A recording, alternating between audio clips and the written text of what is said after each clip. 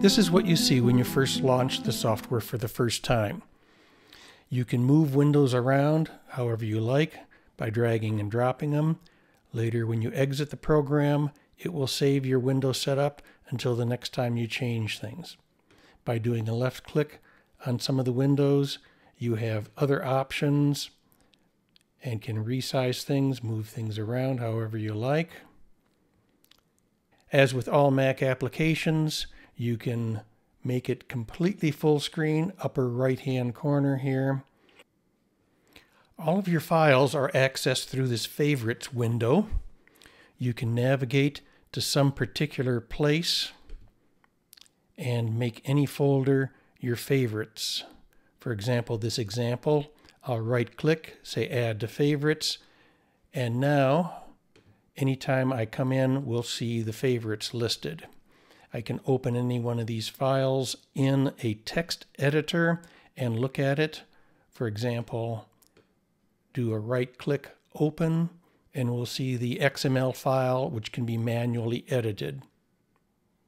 When you simply double click on a file name, then the file opens and it can be edited using a lot of the other tools that you'll see later.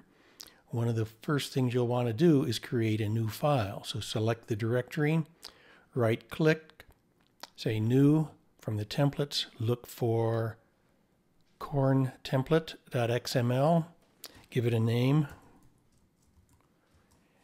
and you'll see a simple shape in the outline editor window. The outline editor window has uh, got a black background.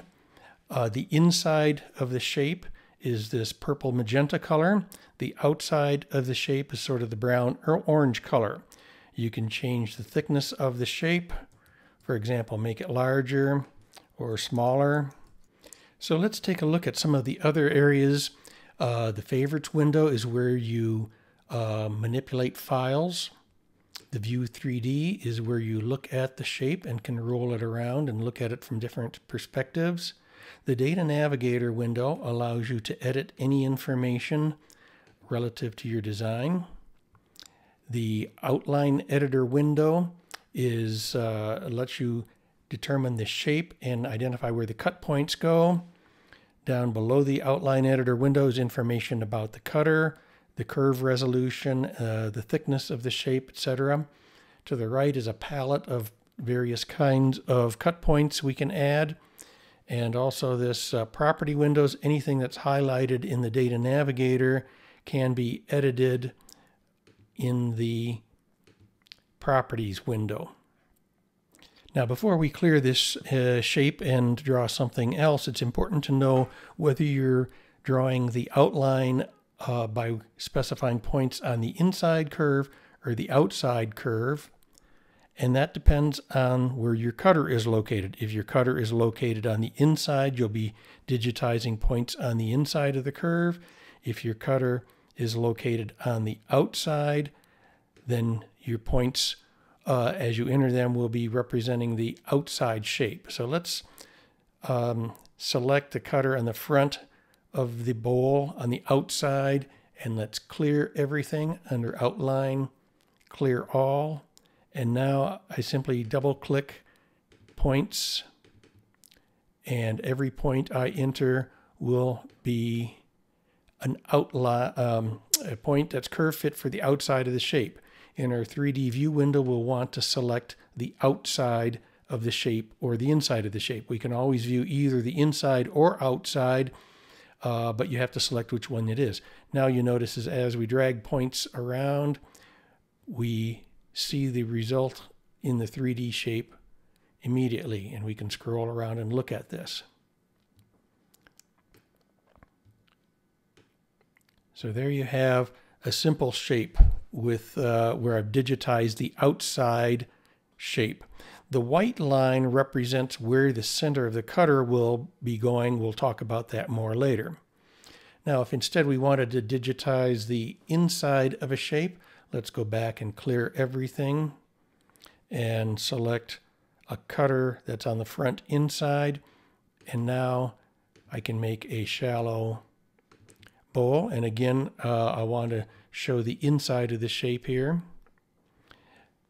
And as we draw the uh, uh, double click points, the shape is curve fit to those points and we can see the inside shape of the bowl. Be sure to take a look at the help file. It contains a lot of useful information about uh, how to man, uh, manipulate uh, data points, uh, add points, delete points in the outline editor window. Um, in the View 3D portion, it tells you how to pan and zoom and rotate. Uh, so make sure you read through.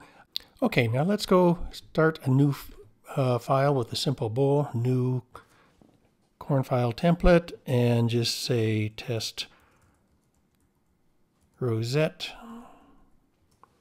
And we'll get our shallow bowl, which is a default. We'll just work with that for now. One of the first things we're going to show how to do, drag a rosette point from the palette somewhere onto this white curve. The white curve represents the center of the cutter in this case, my cutter is a horizontal cutting frame. The radius of the cutter is 0.512 inches. So this white curve is 0.512 inches away from the inside curve. In the 3D window, you see a little black line which represents um, like uh, a pen chuck if we had a pen mounted in the cutter instead or I could hit the render button and get an actual rendering. I can remove that line and see what the cut looks like. Now this is just a default uh, cut with rocking. If I go over in the data navigator, uh, here I can edit information about that cut point and most importantly, information about that rosette. I can choose multiple different kinds of things, including the full complement of Holtzapffel lettered uh, things. So if I go to a flower-shaped rosette and have an amplitude of 0.2 inches and uh, five repeats, now you can see what that cut pattern will look like. In the outline editor, I see the yellow dotted line represents the um, movement of the tip of the cutter as it's spinning around. The yellow line represents the cutter when it goes into the work, and the green line represents the extent of the cut as it's rocking back and forth. So as I change the amplitude of the rosette, say from point 2 to point 1, you'll notice the green doesn't travel as far. If I go back to point 0.25, much larger, you can see the green goes back and forth quite a ways. Uh, likewise, if I change the depth of the cut from 0.05 to 0.07, you'll notice all of them are going deeper. Now I can move this cut point and every time I stop dragging it, you can see the result of the cut in the 3D window. In particular, you will often want the center of the cutter to just line up with the center, right where my cursor is circling right there. Then if I turn the grid off, you can see that the cut is just barely touching the center of my shape there.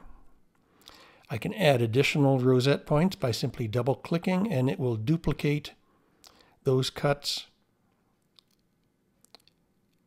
and I can move them around different locations and immediately see the result of what I'm cutting. Now each rosette can be a rocking or a pumping rosette and we edit that by selecting it in the Data Navigator window and simply change it from a rocking rosette to a pumping rosette. Now you'll notice that the um, I need to change the amplitude of that rosette to something smaller.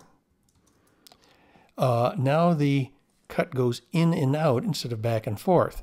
Other options are I can have the cut always going perpendicular to the surface or tangential to the surface or both rocking and pumping simultaneously or both, both perpendicular and tangential simultaneously. Okay, that's about all the time we have. For more information, take a look at some of the example files that you downloaded with the software. Thank you.